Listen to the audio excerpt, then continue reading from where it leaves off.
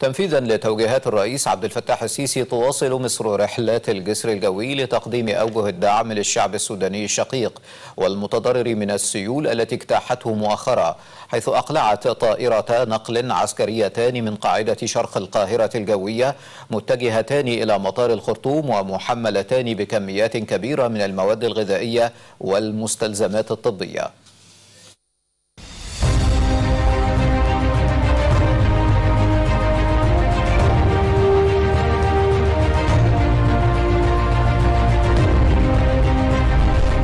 تنفيذا لتوجيهات السيد الرئيس عبد الفتاح السيسي رئيس الجمهورية القائد الأعلى للقوات المسلحة وفي إطار تضامن مصر مع شعب السودان الشقيق والمتضرر من السيول التي اجتاحته خلال الآونة الأخيرة.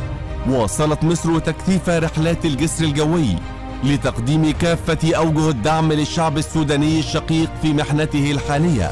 حيث أقلعت طائرتان نقل عسكريتان من قاعدة شرق القاهرة الجوية متجهتين إلى مطار الخرطوم ومحملتين بكميات كبيرة من المواد الغذائية والمستلزمات الطبية للمساهمة في تخفيف العبء عن كاهل الشعب السوداني الشقيق.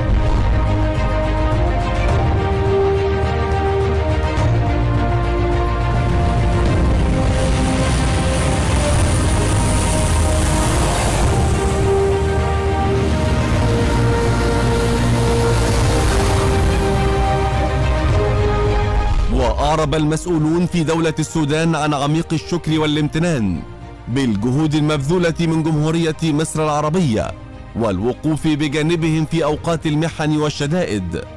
مؤكدين أن جسر المساعدات يعد في أصله جسرا للمحبة والترابط التاريخي بين مصر والسودان.